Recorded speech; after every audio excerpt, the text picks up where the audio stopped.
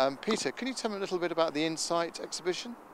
Sure, so on the 1st to the 4th of June in 2009, we're having a mixed exhibition, conference and demonstration event to really look at innovation in the built environment and, and how it applies to um, schools, homes, hospitals and a range of other building applications.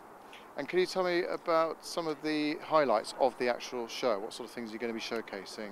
Okay, well, there, there, are three main themes, I guess. One is the, the conference program. So we have a, an extensive conference program, which is dealing with issues such as the changing demographic, the fact we have more aging people, and looking at how we cope with that in the buildings we occupy.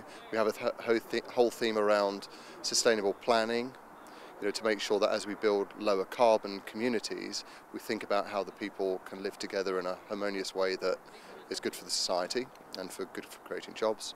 We have another theme around refurbishment, which is a really important issue um, that we need to look at because a lot of the opportunity for reducing CO2 emissions come from existing buildings, yet it's very difficult to see how you find good solutions for addressing that problem. So a range of themes in the conference program. Then we have a number of exhibits so like other shows you might go to, we'll have people who come and show various new technologies, new processes, new materials, new products. And then I, I think perhaps the, the key differentiator, the special thing about our show is that we have our innovation park, which is where we have full-scale buildings where we show a whole range of solutions for delivering better buildings. And Peter, I understand that you're going to be launching two new houses on the Innovation Park. Yes, so we're going to have at least two new houses on the park. One will be built just through the gap there, and that's one we're building with the Prince's Foundation, which is um, the foundation that, that works with His Royal Highness the Prince of Wales and is looking at ways of developing sustainable buildings. And that, that particular building, the emphasis on that is on natural materials. It's on a healthy building, so it's being built with materials that don't emit chemicals and other um, partic particulates and pollutants into the atmosphere, so it's very much about health. Um, and it's also looking at how you build sustainability into, into that building as well, so energy efficiency and that sort of thing. It's very practical. It's going to look quite different to the other buildings on the park, and I think will be a, a very interesting house to see, a lot of, lot of new learning. And the other house we're going to build here is one where we're looking at how we can use crops. So biofuels, um, products like hemp and straw and things like that into a house that's very, very natural, very, very, very natural house. So they're two of the houses that are going to come through. There may be some others, but we'll see. We'll see how that. We'll announce that in due course. Peter, they sound very similar to me. I mean, are there uh, differences in the type of construction used for the envelope? Yes, there are there are differences in the type of construction methods used. So, the the hemp house is very much about natural materials mainly crop-based materials. The Prince's Foundation House is using a range of products, not just crop-based products. So a whole range of different types of ones. I see. Yeah.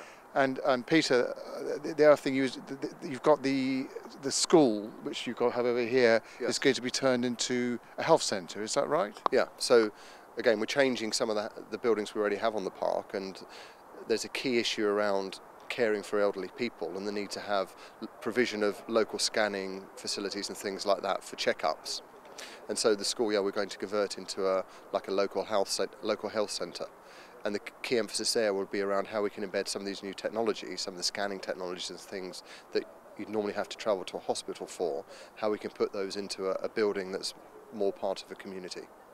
I also understand that one of the homes here is going to be used as the care, the, the, the, actual patient's house, if you like. Is that right? Yeah, so another idea we have, and we'll see whether it comes through for June, is it's all about assistive healthcare technologies, which again is, you know, if we have an increasingly elderly population, how do we care for them in the homes? You know, how can they be monitored every day? How can we have better control systems so they can control temperature and hot water better? How can, how can they um, communicate and understand local bus services and that sort of thing. So a whole range of technologies um, which deal with the elderly population. I see. And finally, you are going to be extending the landscaped area here out to the wider BRE, aren't you? Yeah, another key facet is, you know, there's been this drive for sustainability. One of the risks is we we move forward and we build very green homes that are green as far as the environmental is concerned, but we don't think about the the biodiversity, the greenness of the community, and, and how the buildings sit in the context of the community. You know, we've got to think about sense of place, the feelings of people, and the the well-being of people that live within them. So we're very keen to put these buildings, these exemplary, innovative buildings, in a context of, of a true development and look how nature can play its part in creating a community that's a really super place to live in. I see. And when will work start on the, the two new homes and the health centre? Within the next six weeks or so, we expect you know, the first sods to be dug in the ground and things to move forward from there.